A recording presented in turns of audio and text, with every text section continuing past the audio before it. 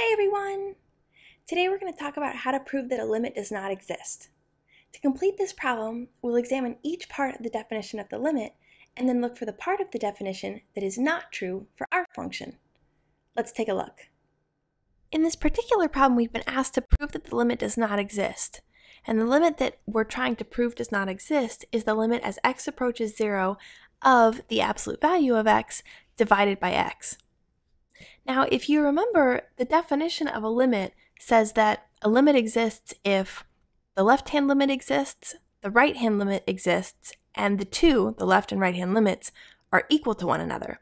So, if we're going to prove that the limit does not exist, we either have to prove that the left hand limit does not exist, and or that the right hand limit does not exist, and or that the two are not equal to each other. So what we'll do is we'll start with the left hand limit, make sure that we've got one, then make sure that we've got a right hand limit, and then make sure that they are equal to one another. And if we can't pass any of those steps, then we'll have proven that the limit does not exist. So let's start with the left hand limit of this function. We'll take the limit as x approaches 0 from the negative or left hand side of the absolute value of x divided by x. Will also be, we'll just go ahead and write it now, will also be trying to find the limit as x approaches 0 from the positive or right hand side of the absolute value of x divided by x. So if you can imagine here with the left hand limit, we'll call this left hand limit and this the right hand limit. With the left hand limit, we're approaching 0 from the negative side. So if we have our number line here and we're approaching 0, we have these other points, right? Negative 3, negative 2, negative 1, and we're coming in from this side approaching 0. So imagine if we plugged in negative 3 here for x to the left-hand limit. We plugged in negative 3, we would get, and let's just say this, we plugged in negative 3, we'd get the absolute value of negative 3 divided by negative 3, which would give us, on top here, the absolute value of negative 3 is a positive 3 divided by a negative 3, and we would get negative 1. You can see if we plugged in negative 2, right, we'd get the absolute value of negative 2 divided by negative 2. It's going to give us 2 over negative 2. And again, we get negative 1. So what we start to realize is that no matter what value we plug in, because we're always plugging in a negative value, and these absolute value bars will always turn that negative value into a positive value. We'll have a positive over a negative, the same value, and therefore we'll always end up with negative 1. So what we realize here, we can really simplify this into x divided by negative x is always what we're going to end up with. And of course, that simplifies to negative 1. So we can really call this here the limit as x approaches 0 from the negative or left-hand side of negative 1.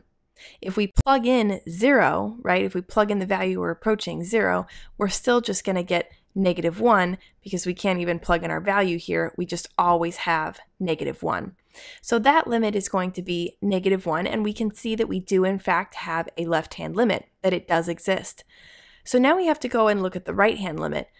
Well, we're going to end up with a similar thing over here if we imagine the values that we have over here, 1, 2, and 3, and we're coming in from this side approaching 0, if we plug in 3 or 2 or 1, we're always going to have down here, you know, 3 over 3, and even if we put these absolute value bars on it, we're still just going to get positive 3 over 3, which is going to give us 1.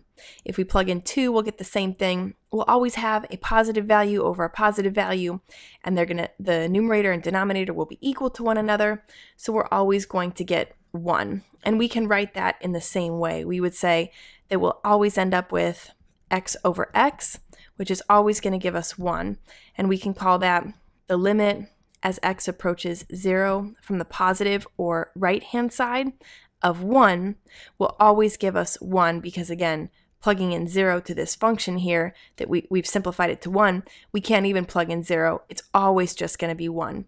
But this shows us that we do in fact have a right-hand limit and that it does exist. So remember that the definition of a limit is the left-hand limit exists, the right-hand limit exists, and the two are equal to one another. Well, we've shown that we have a left-hand limit, right? our left-hand limit is negative 1. We've also shown that we have a right-hand limit. Our right-hand limit is equal to positive 1. So we've gotten two-thirds of the way through the definition of the limit. But of course, the third piece of our limit definition is that the two are equal to one another. And obviously, our right hand limit is not equal to our left hand limit. And so we say that the limit does not exist because the left hand limit does not equal the right hand limit because negative 1 does not equal positive 1. And so we've proven that the general limit, the limit as x approaches 0, of the absolute value of x divided by x, that that limit does not exist because of this fact here, that the left and right hand limits are not equal to one another. So I hope you found that video helpful. If you did, like this video down below and subscribe to be notified of future videos.